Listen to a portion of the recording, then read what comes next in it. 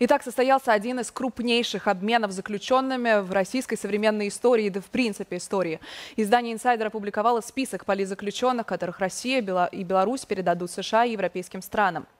В перечень вошли американский журналист Эван Гершкович, российские политики Владимир Карамурза, Илья Яшин и Лилия Чанышева, а также правозащитник ликвидированного центра мемориала Олег Орлов, художница Саша Скочеленко и еще около 10 человек.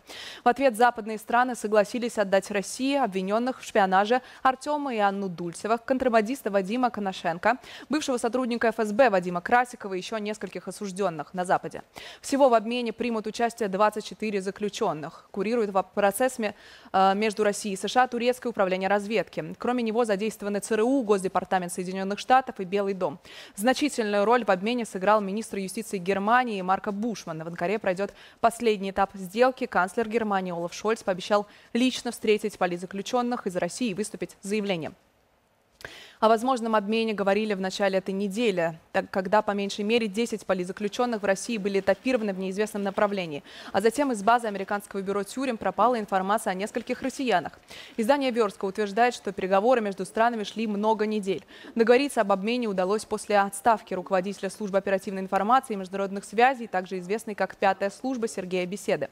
Беседа покинул свой пост после начала вторжения в Украину. Владимир Путин во многом полагался на информацию этой службы, утверждает проект проект важной истории.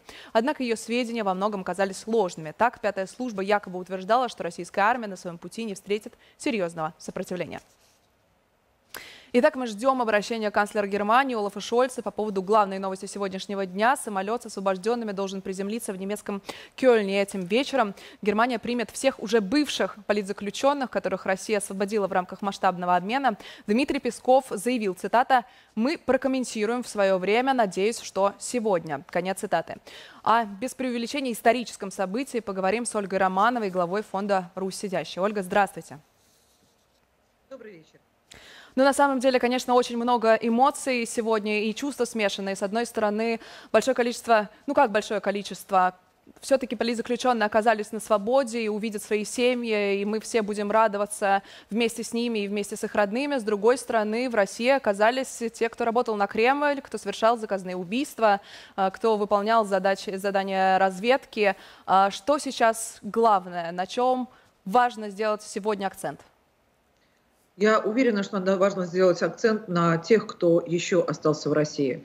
А, Женя Беркович, Светлана Петричук, а, Мария Пономаренко, журналистка, а, на очень-очень многих, на Надежда Буянова, педиатр, которая, собственно, прокомментировала, якобы прокомментировала гибель одного из родителей своего маленького пациента, на очень-очень многих заключенных, которые остаются в России политических заключенных, в том числе, собственно, несовершеннолетних, в том числе детей.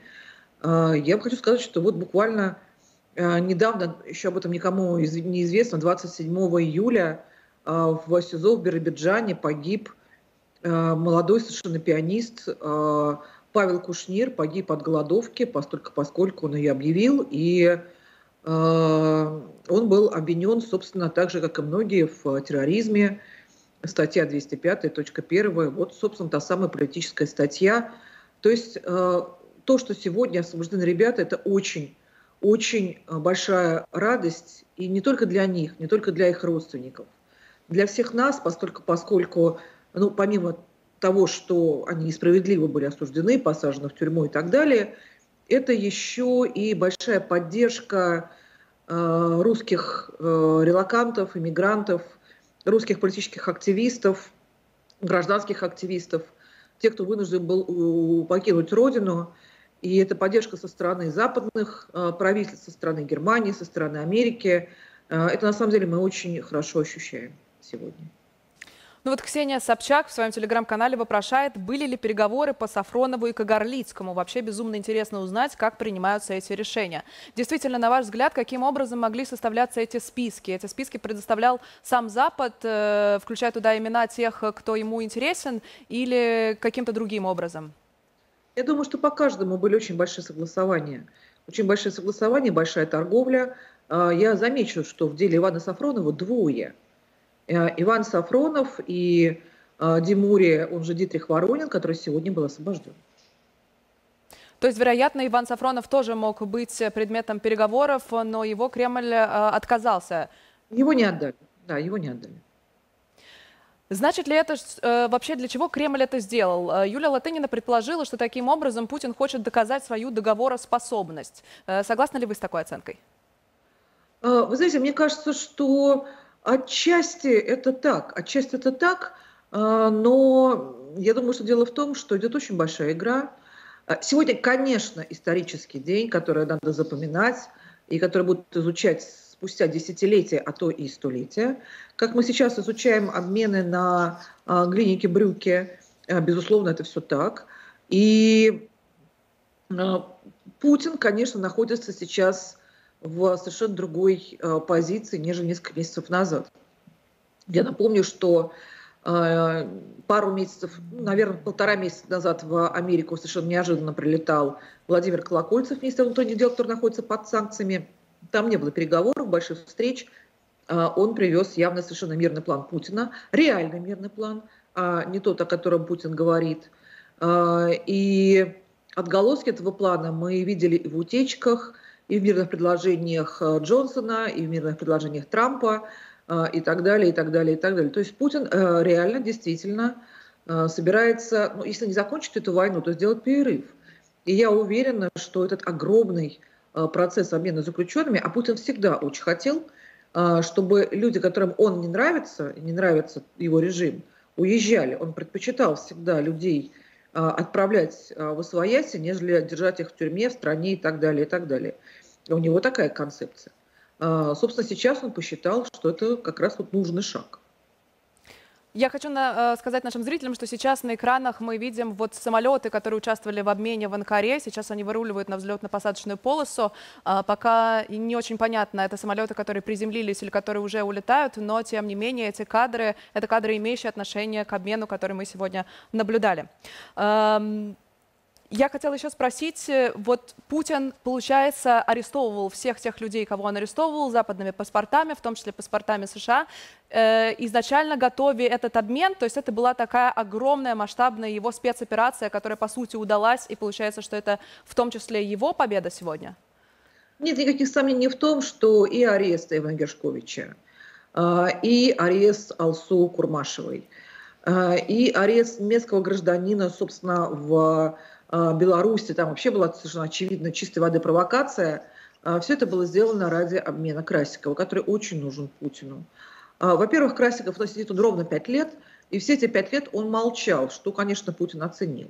Он, конечно, личный убийца Путина, ну, такой ФСБшный убийца. Надо сказать, что всегда, всегда все власти, особенно российские власти, да, раньше советские власти, очень большое внимание уделяли тому, чтобы, э, чтобы убийцы, шпионы всегда были возвращены для того, чтобы воспитывать новое поколение убийц и шпионов. Ну, собственно, вот, э, обмен на мосту там, Абеля, Фишера, это только подтверждает, а до этого, э, до этого, собственно, было очень много обменов, и Россия и Советский Союз доставали Рамона Меркадера, например, он похоронен на Кунцевском кладбище со звездой а, Героя Советского Союза. А, или вспомним Лугового, ныне депутата, а вообще-то убийцы. Убийца Александра Литвиненко в Лондоне. Это действительно настоящая такая пропагандистская и воспитательная работа режима, который, собственно, основан в том числе на террористических актах вне территории страны. Э, поэтому так долго не хотели отдавать Красикова, потому что, да, это воспитательная мера, чтобы на его место встали еще пять таких Красиков. И я думаю, что они встанут. Да, это еще один оттенок э, вот неприятной части сегодняшнего дня, который не получается не думать, потому что э, мы видели в последние дни новости о том, что Венгрия упростила въезд для обладателей российских и белорусских паспортов, и не, не, не хочется э, такую разводить киселевщину, говорить совпадение не думаю, но действительно сложно поверить в то, что это совпадение, что в те же самые дни, когда Красик возвращается на родину, в Европу открывается путь для российских потенциальных убийц и шпионов. На ваш взгляд, действительно ли эти два события могут быть связаны? Конечно, связаны. А, и до тех пор, пока Европа могла держать так или иначе оборону и не пропускать к себе уж всех подряд, теперь через венгерское окно, оно еще не открыто, но оно может быть открыто, скорее всего, будет открыто. Конечно, хлынет поток кого угодно. И сегодня еще, конечно, целый день в голове крутится вот это «а если бы?». Э, Леонид Волков уже написал, что тот обмен, который состоялся, это, по сути, обмен Навального. На ваш взгляд, Алексей Навальный никогда не мог оказаться сегодня в том самолете, который вот приземлился уже, кажется, в Анкаре и скоро приземлится в Берлине? Ну, дело в том, что этот обменный процесс был явно затеян очень давно. Я думаю, что он был затеян не меньше года назад.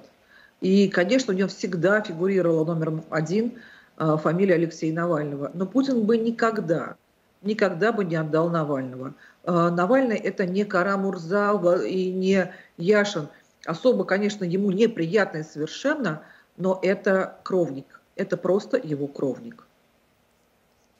И хотела спросить про остальных политических заключенных, которые все еще огромное количество, большая часть находится и в России, и в Беларуси. Вот сейчас, когда этот обмен состоялся, их судьба каким-то образом изменится, э, даст ли им что-то вот эта надежда, что их, может быть, когда-то тоже обменяют, э, или наоборот, для них как раз окно это закрылось? Нет, нет, это нам всем дает надежду. Это нам всем дает надежду, и я бы сказала, что это дает еще надежду тысячам украинских семей. А, возможно, еще обмен на коллаборантов будет еще и военнопленных, и цивильных заручников, украинских граждан, которые томятся в российских застенках ни за что, ни попросту.